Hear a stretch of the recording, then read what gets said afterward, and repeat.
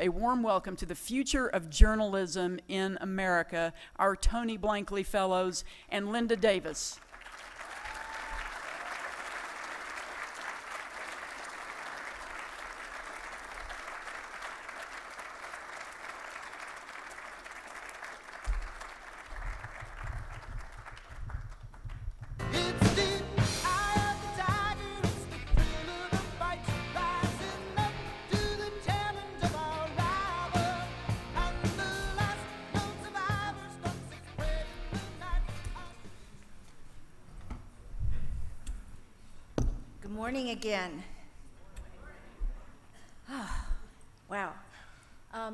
This is truly an honor, and I'm so very excited. And as a a true um, conservative with the ability of everybody to make choices, to express themselves in their free will, you will notice that everybody had the choice today to choose whether they wore their Tony Blankley shoes or not.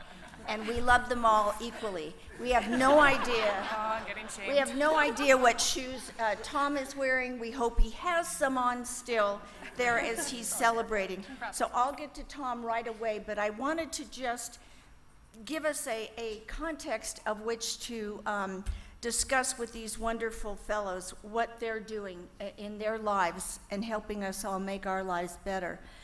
In 2005, many of you had read um, Tony's book, The West's Last Chance. And um, it was his observations of what we were facing at the time. I just want to give a few quotes from that, and perhaps that will guide us as we have our conversations. The fellows are going to tell us about who they are, what they are doing, and how they are addressing to make sure it's not just the West's last chance, that we're ensuring that it is the global chance for freedom and democracy that we are all able to support. So Tony said then that we are facing the challenge of immigration, cultural aggression, and a conflict of values, religions, and lifestyles. That was 2005. I think that applies today. He also said the failure to adequately describe the challenges that we face has thrown our legal, political, economic, and social systems into disarray. I think that applies our inability to use language now to accurately describe. And this is what this group is addressing too. He said we need to think in terms of discontinuity, which is occurring across the globe.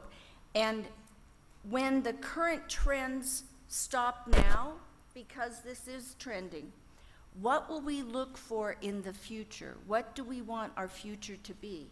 I would argue that this is the future. It's certainly not me.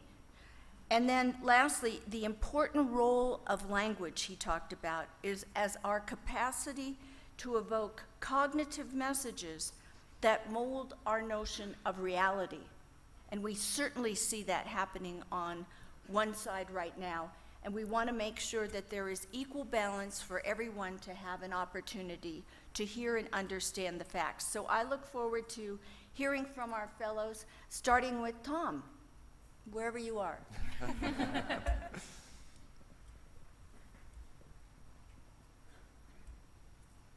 Hi there. I just wanted to send a quick message over and say that I hope you're all having a great time at this year's Freedom Festival.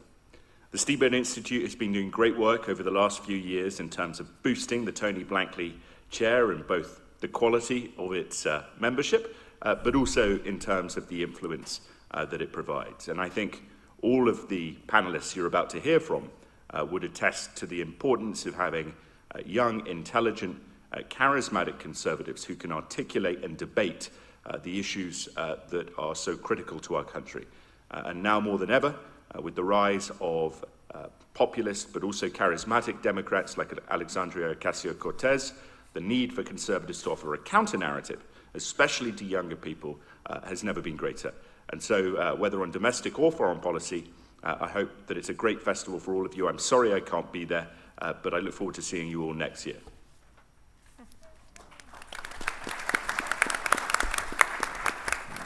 I did notice that he was well shaven, so that means he's trying to impress some somebody. Would you all kick it off now? And Yeah, we look sure. forward to hearing. So uh, we wanted to share with you a little bit of the stuff that we've been working on. You guys got to hear about Hong Kong, uh, which has consumed my summer. Uh, great thanks to my husband for letting me go. um, but beyond that, uh, one of the things I've been really focused on is the culture wars in the United States. So free speech on campus, the way that progressives are trying to use language to politicize political thoughts. Uh, that's been completely fascinating. And one of the things that through reporting this, um, I've been trying to read a lot of authors that I disagree with. And that's, uh, you, you should read with an open mind, you should read with a critical mind. One of the things that stuck out to me is how well the left addresses the idea of people who are left behind. And so part of my goal for this year has been to be reporting on um, the way that liberal policies hurt the most marginalized in our society. Um, my favorite project this, this past year, besides Hong Kong, has been looking into New York City public housing and the way that Democrats have uh, enabled a corrupt system that's created a, a living space for millions of New Yorkers um, that's just horrifying. Uh, so that's, it's been fun investigative reporting, and I think as conservatives, it's really important for us to engage in those debates and discussions, not to shy away from them, because I, I really do believe our arguments are better. Brilliant. oh man, I am I'm just so relieved that last night is over. I really stressed about the uh, Alan Dershowitz interview. Some of you guys know that. Um, so I'm like, oh, here. I should, probably, I, should, I should have prepared better for this panel, but I, uh, giving, giving you an update on my life should be easy enough. So uh, as you all know, I work at Independent Women's Forum, where I'm our policy director. And in case you're not familiar with IWF, um, our mission is to advocate for public policies that aren't just well-intended, but actually enhance people's freedoms, choices, and opportunities. And of course, we have a focus on communicating to and on behalf of women, particularly women who feel disappointed and not represented well by the feminist left. And so we offer an alternative, and that's, I'm, I'm thrilled to be working with an organization, frankly, that I think is more vital than ever. Uh, it's important for us to reach women with the conservative message. And so as policy director, uh, part of my goal on a wide range of issues is to uh, come up with, you know, uh, good solutions um, and good counter arguments to bad solutions and try to influence the way that our lawmakers and other influencers speak about the issues that matter most to women, which, as we say at IWF, all issues are women's issues. Uh, one particular uh, task that I've taken on in the last year, and as many of you know, I, I guess I live in Colorado. I'm uh, the, the Western fellow. Um, I was appointed this past year to a state task force on paid family leave. I'm a minority appointment, go figure, because uh, no, nobody in the state house and the majority wanted to appoint me. So, so uh, this task force is comprised of 13 appointees, and we're meeting regularly um, throughout this fall to make recommendations to the Colorado State Legislature about paid family leave. If you followed the last legislative session in Colorado, we were considering a bill that would have created a new state-run program uh, with an additional payroll hmm, fee, shall we say? You know, we can't say tax in Colorado because we have the Taxpayer Bill of Rights. Um, so this, the State House was trying to do an end run around Tabor by establishing this program that would have paid out benefits um, in the event of a family or medical leave. Um, IWF typically opposes these types of new entitlement programs, which makes us an interesting women's organization. Sometimes I joke we're the black sheep among women's organizations.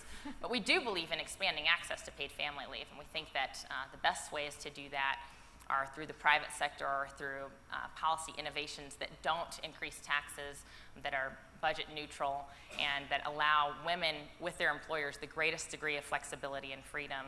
I'll just say on a personal note that when I accepted the, the Blankley chair, of the Blankley Fellowship, I was in a hospital bed. I had just given birth to my daughter Madeline, that was three years ago. And uh, so navigating my work and my life as a parent has been one of the hallmarks of my you know, last three years, the hallmark of my time as a fellowship uh, uh, recipient. And uh, I guess I, I just want to say to like the young leaders here that um, being a parent is such a high calling, and I do feel that I'm replaceable in the conservative movement. I'm replaceable at IWF, but I'm really not replaceable to my children and in my home. And that's something that, yeah. I'm gonna make the pregnant lady Yeah, emotional. yeah, I know, it's okay. um, but the, the reason we all fight, I think, is you know ultimately for you know to as, as Ronald Reagan said to ensure that you know freedom doesn't just get passed along in the bloodstream. We don't want to sit around in our sunset years and tell our children what it was once like to be free. And so my children inspire me, um, but I do spend I do spend a lot of time with them, and um, I do have to navigate trade-offs between my professional opportunities and my calling as a, as a mom, my vocation as a mom. But what a great time to be a woman. What a great place to be a mother in the United States. We have more opportunities than ever. I do have a wonderful employer who sort of lets me set my own hours, and they, they do offer paid maternity leave. And um, so I'm just thrilled to be a part of, you know, I, I, I hope expanding those opportunities to more and more women and men.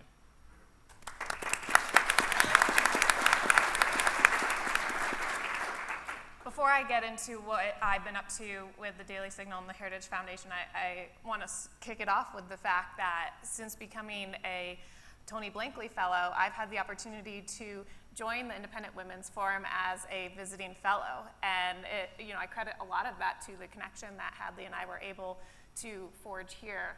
Um, and that has been an incredible honor and, and privilege. Um, part of my role there involves uh, doing doing media, uh, a lot of Fox News lately, and we have to find that balance, but it's so important to have those female conservative voices out there, especially I can't tell you how important IWF was as a voice throughout those, um, that Kavanaugh confirmation process. They really did make a difference, and I was proud to be a part of that team. Um, so I wear, I wear a couple different hats. Um, you're most familiar with my documentary work, which I'll mention two, uh, two pieces, two works that I have I've been working on that will be publishing in the coming uh, months uh, that I'm quite excited about. But I also want to mention um, I write for Bright, which is a morning email for women by women, and uh, we don't we don't go on the record in branding ourselves as a competitor with the Skimm, of course. They have endorsements from Oprah, they have uh, car companies uh, funding them, they have all sorts of different sponsors. But what we really are is a newsletter for women by women to give you a rundown Monday through Friday on uh, the biggest news happenings of the day involving culture, involving uh, politics. And this is a way that we really feel women enjoy consuming the news. They care about the serious policies and and we also uh, care sometimes about fashion and, and what, what celebrities are up to. And I think it's really important for conservative women to be in this space and um, connecting with them on, on that level with these types of products that unfortunately just don't have a comparable funding um, like those on those competitors on the left do. So if you know any young women, emerging leaders out there, um, please tell them about Bright. It's a, it's, a, it's a fun product that I'm, I'm proud to be a part of. Um, so at the Daily Signal, um, two big, big projects that I've been working on. The first is, well, since I'm on the women's, women's kick, I'll, I'll kick it off with, on my way here, squeezed in uh, one last documentary shoot that I'm, I'm really excited about. And it's, um, it's about the story of a woman named Sue Ellen Browder. She is now in her 70s, and she's a former cosmopolitan writer um, from back in, in, the 70s and so forth, when um, really there was a women's movement and there was, um, and there was the sexual revolution. And these were two very different movements at the time. There were a lot of conservative, pro family, pro women, anti abortion feminists back then. A lot of young women do not know this history today. And um, actually, at the hands of a lot of very powerful men, the movement got hijacked and it got joined with the sexual revolution, started promoting abortion and so forth, and really, in my opinion, led to a lot of the problems that women are facing today, including the Me Too movement. And so, this former cosmopolitan writer is now in her later years uh, regretting what she became a part of. And she, um, despite being a really incredible journalist, she admits to writing fake news and propaganda on behalf of the feminist movement and the sexual revolution. She pulled out all these old Cosmopolitan articles for me. She even pulled out, um, she even pulled out a uh, handbook that she was given by the editor of Cosmopolitan magazine, telling her um, how to make up stories, how to make up people, how to place them specifically. Maybe they found a story that related to um, one of, you know, something that happened in, New in a bar in New York City. They would purposely place that story in a, in a small city like Des Moines, Iowa, to make it seem like this was normal. This is what women are doing all across the country. And stories like these are, she, she actually um, got an abortion in her younger years too. And at 57 years old, um, she became a Catholic and repented for that and is now um, coming clean about her involvement in this. And I think stories like hers are so important to set the record straight for two reasons. One, the feminist movement wants to pretend like this is what women always stood for, and if you're not with us, you're against us. And, and two, it really shows young women today that you can be pro women, you can identify if you want to be a feminist. I understand if you don't want to be, but there are a lot of, um, there are a lot of women throughout history um, who, who gave us our rights to be sitting up here, uh, fought for our rights to be sitting up here on stage. Um, for example, I'm pregnant right now. Actually, the woman I interviewed was fired um, for being pregnant when she was a news journalist. This was common, and a lot of young women don't know this today. So I, uh, I actually do embrace the label of a feminist to honor the women who came before me, who fought for the rights that are enabling me to do what I do today. Um, very briefly, the last quick story I'm working on. Um, this is an example of how I take a lot of the policies that the Heritage Foundation works on. I'm getting a little hot here. I think it's the, I think it's the baby. good thing, good thing my uh, Fox News hits are only like two minutes long.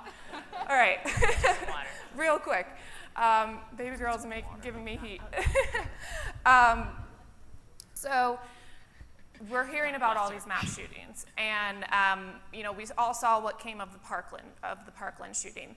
Um, people rush to judgments about what the policy solutions are to that. Obviously, we're hearing gun control and so forth. Um, we're now a year after what happened in Parkland, Parkland, and we're still learning the actual causes that contributed to that, that enabled what, uh, what I believe and what many experts believe is, is and was the most preventable mass shooting in our history. And it's very unfortunate to see the media move on from these stories. Not only get the, not only get the story wrong once, once it happens, but then a year after, it takes so long, it takes so much investigation to learn about the policies that enabled this. People just ignore it.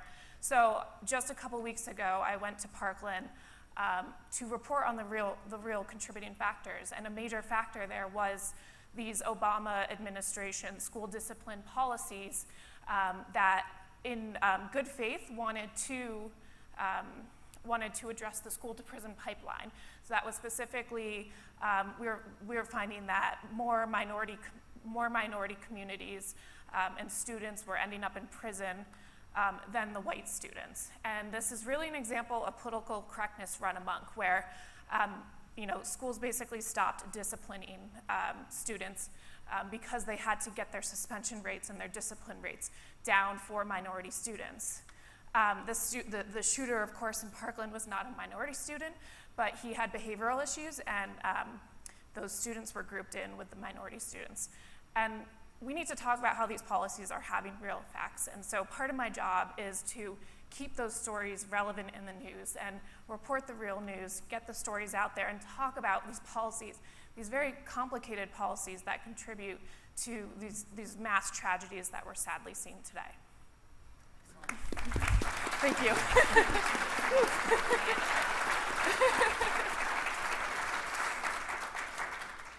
All right, so um, past year has been pretty crazy for me because I've transitioned um, the news that I've been covering. I started at the Daily Caller as a media and breaking news reporter, and then in January became a White House correspondent. Um, so I feel like I've, I've covered probably every issue under the sun. But the one thing that um, underpins the reporting that I like to do is I like to be able to provide a counter narrative to the biased liberal establishment media um, reporting that's going on, uh, whether it's on cable news or in the New York Times or the Washington Post, and just being able to give people the full information so that they can reach important decisions um, on their own without having it being spoon fed to them by the liberal media. Um, so I'll just run through some of the stories that I've been most proud of working on over the past year. Um, back when I was covering media, there was um, this huge wave of political correctness with, of course, woke corporatism, meaning um, corporations who, uh, as Braden was talking about earlier, embrace some of these um, social justice causes because they think that it's going to help their profits. Um, last year, L'Oreal actually um, fed into this by allowing uh, their first hijab model to uh, model their shampoo line, which, if you think about it, um, when you can't see a woman's hair in an advertisement, it's a little bit odd to make her the face of a shampoo campaign. Um, but the issue went far beyond that because when we started looking at um, this woman's history, she turned out to be very anti Israel and borderline anti Semitic. Um, so we were the first at the Daily Caller to report on her comments, and uh, L'Oreal actually ended up removing her from that campaign. Um, so that was uh, a real effect of reporting that I did that um, uh, I never want my uh, journalism to turn into full activism, but um, it's nice to see an article actually have a real effect on people as opposed to you know being posted on the internet and then being forgotten about um, a week later. Uh, last November, I uh, gave my first campus speech at American University, where uh, it was shortly after the Kavanaugh hearings, and I talked about due process.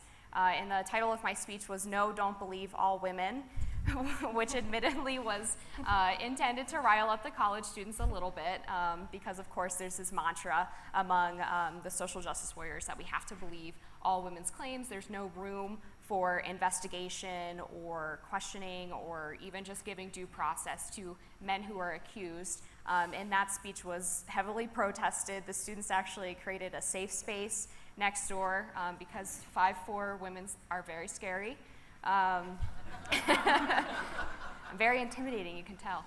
Uh, during the speech, um, actually, the group that invited me uh, asked me to change the name of the speech, which I declined to do um, because I thought that would be giving in to the, uh, the inmates running the asylums at the universities. Um, the uh, protesters were marching around with signs and trying to shout down the speech. Um, luckily, campus security was uh, very helpful and made sure that they were ushered away so that I could finish the speech. And there were actually a few students who came up to me afterward and said that they appreciated what I had to say, even if they didn't necessarily agree. So I think there are instances on college campuses where students are interested in hearing um, differing viewpoints. It's just that they've been coddled and protected for so long that um, they don't realize that speech is not actually physical violence. Um, so, that so that was a fun thing that I did. I really enjoyed that. I'd, I'd love to continue doing uh, college speeches um, as I continue in my career. But after becoming the White House correspondent, uh, I obviously started covering things in the Trump administration as well as the Democratic 2020 campaign. And uh, one issue that's really stood out to me as something that I personally really am passionate about is the immigration crisis on the southern border.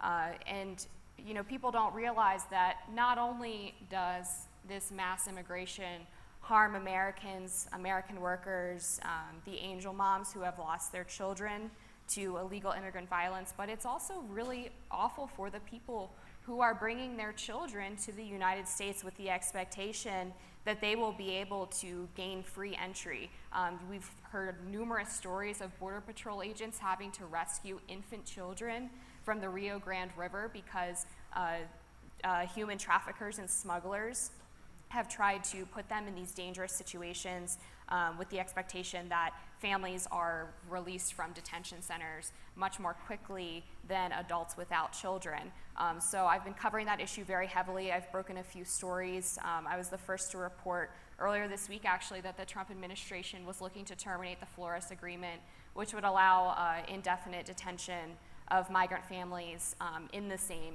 detention center. So families would be kept together as they go through their immigration court proceedings. Um, the Daily Caller was also the first to report that Trump was considering using the Insurrection Act in order to deport um, illegal immigrants who had had final uh, removal orders issued to them. Uh, so I've been covering that, um, really enjoying it, learning a lot from Border Patrol and ICE agents about the real tragedies that go on uh, at the southern border, as well as some of the crime that's committed by people who are not vetted and then allowed into the United States. Um, so it's been a lot of fun. Being at the White House on a weekly basis is a really uh, amazing experience, as Saagar can tell you as well, because he covered the White House for a time. And just being able to see Marine One and see the president in person and be a member of the press corps is truly a stunning experience that I don't think I'll ever really get used to. Um, so I'm really happy to be here with this amazing group of uh, Fellows, and thank you.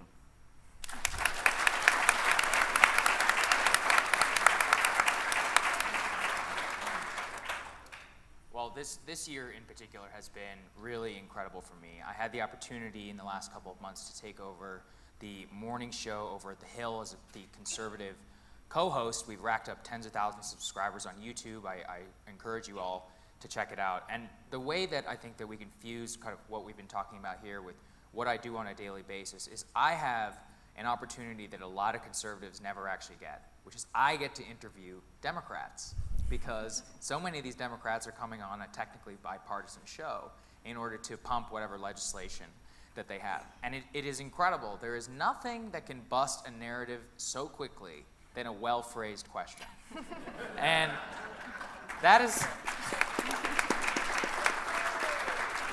That is something that I have been able to do in the last couple of months. I've interviewed the CBP commissioner, uh, the DHS secretary, the head of ICE, uh, the Secretary of the Treasury, the President of two months ago, which was our, my fourth interview with him. And, and I, I, take a novel approach whenever I interview Republicans as well, is instead of asking to apologize for President Trump's latest tweet or asking him uh, if he dis will disavow President Trump on the campaign trail or some version of like, why is President Trump so orange and why do you support him? I actually ask them to account for the policies that so many of you advocate for, that so many of you believe in, there, it is so rare for a Republican politician to go on MSNBC or to CNN and actually be held to account from a conservative point of view. Why did you vote for that trillion dollar, uh, that trillion dollar deficit expanding bill? Why did you not defund Planned Parenthood when you had the chance? Mr. President, why did it take you two years in order to do something that you promised that you were going to do in your first day in office? These are not, they get a bit taken aback by this because they're not particularly used to it. But I also do it to the Democrats, and that's something I have Democratic congressmen and women on my show all the time, and, and ma ma basically just asking them to explain why the policies that they're advocating for, particularly on immigration, is not a de facto open border you, you should see some of these pretzel twist turns that, uh, that, that, that take place. And, it, and it's something that I take great pride in. And I think that as a, as a real journalist, what your, your job is to do is to hold these politicians to account for the, the statements that they make in public to the people who actually put them in office. So many interviewers in Washington and New York City are concerned with impressing their friends on Twitter and making sure that they can ask or, or you know, engineer some gotcha moment which will have the far left very excited rather than actually holding these people's feet to the fire. And so uh, that's what I'll continue to do. That's what, I, that, that's what I've been working on. I've interviewed many of the Democratic presidential candidates and, had, and, and pressed them on, on their immigration policies, on, you know, on health care for illegal immigrants, and asking them, be like, how do you expect to win uh, half the country when you're advocating positions like this? How do you possibly you know, plan to pay for Medicare for all? What does that mean for the average person? These are not questions that they're very used to answering. And they actually accuse, even when, uh, when even when li liberal media outlets ask them these questions, they accuse them of reciting Republican talking points. But the benefit I have is, is on the internet, we don't have time limits. So I can sit there and question them for as long as, as I possibly can it's something that I take a, a great pride in, and this fellowship will only help bolster my work here. You know, it is difficult to describe when when you're on the left and you're one of the, these journalists at the Washington Post, the New York Times, the Atlantic. You have an ocean of organizations that lift up your work. Your fellow journalists and everybody can can pump up what you are doing, and it, it's meant to seem organic, but it's actually not. It's a very well-funded and well-built, infra well infrastructure that they have. The right has been sorely missing it, and institutions like this do such a good job at being able to lift up the other side. So thank you all so much for supporting this work.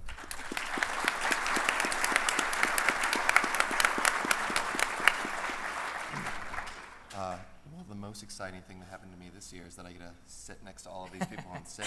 So I have the unenviable task of, of telling you what I've been doing for the last year after hearing all the amazing things that, that these folks have done. And I think that's one of the th- reasons why this fellowship is, is so fantastic. Um, it creates a tradition. And so we are all fellows, and we're all part of this thing together. And so we can take encouragement from each other, and we can look to each other's example. And to Saagar's point a moment ago, uh, there are a lot of institutions, both academic and professional, that bolster the work of young liberal journalists. Uh, and on the conservative side, there, there isn't that. There, there isn't an infrastructure that is going to promote and catapult your work. And that's why I think that this fellowship is just so fantastic. So I'll be very brief because I'm not very exciting. Um, uh, I was at the Washington Examiner uh, last year when you gave me this fellowship. I was on their editorial board, and since then uh, I've moved to Real Clear Politics. I'm their White House correspondent, and uh, like so many on stage, I also am paying attention to uh, what's happening uh, in 2020 and speaking to a lot of the candidates who uh, wish that they could be in the White House. Um, and so some of the highlights from the last year, when I was at the Examiner, I did some investigative reporting uh, of a congressman and his chief of staff, and I found out that essentially, long story short, what they were doing is they were double dipping. Uh, the congressman was getting paid, uh, excuse me, the, the chief of staff was getting paid both in his congressional capacity, and he was also getting paid on the campaign side. And he was also taking uh, taxpayer money to go take classes at places like Harvard and Stanford. And he was also taking taxpayer money to go to the Super Bowl. And he was also taking taxpayer money to rent private cars and basically expense his private life and uh, live on the generosity of people who sent his boss there to do one thing and he was doing another. And um, so that's the sort of journalism uh, that is, is worth doing. It's not uh, necessarily super sexy when you go through you know pages and pages of receipts. Um, but you know I, I you know I did this investigative story. Uh, it turned out that there's a congressional ethics investigation based off of, off of our reporting at the Examiner. Uh, the chief of staff was fired. Uh, the congressman is in trouble now. Um, and while all of our colleagues were running around telling us that there was going to be a bombshell moment with the Mueller investigation, with Russia. Um, well, they were running around focusing on a story where there really wasn't that much there there. There were a lot of things that fell between the cracks. And um, I think that that's what's so important uh, about this fellowship. Uh, you are empowering, you know, wonderful individuals uh, like these here uh, to not just run in the direction that everyone else is already, but to, to think independently. Uh, and, and one of the things that I think is so, so great about uh, this fellowship is that if you really boil down our job uh, as journalists, our job is to you know, ask a couple questions who, what, when, where, and why. And uh, we do that. But I think that when you have conservative journalists who are asking those questions, like Saagar pointed out a second ago, in terms of permanent principle, in terms of the things that actually really matter, then I think that journalism is not just um, the story of what happened. I think that journalism can actually be a beautiful thing. I think that journalism, in, if you are asking questions and you are reporting stories in terms of things that do matter, then I think that, that uh, it can become the literature uh, of what happened. And um, I'm very proud to, to, be on stage with all of these wonderful people and um, uh, very grateful that you, that you gave me a shot a year ago.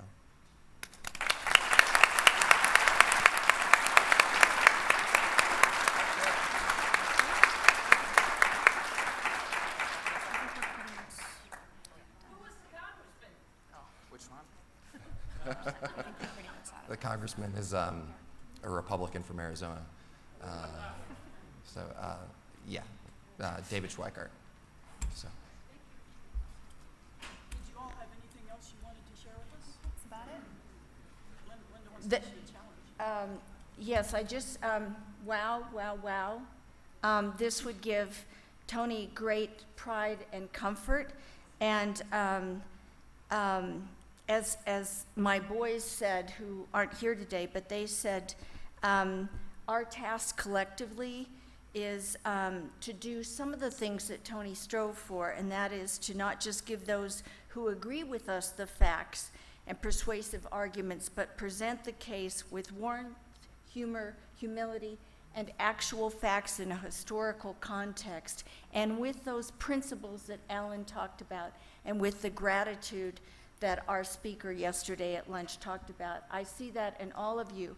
And what I'd like to ask is that um, for the rest of today, because this is our fifth year, I'm going to pledge to match any contributions to the fellows up to $5,000. So if, before you get into the Coyote Gold, if you, if you feel moved in any way with any amount, I look forward to matching it so we can have more of these folks.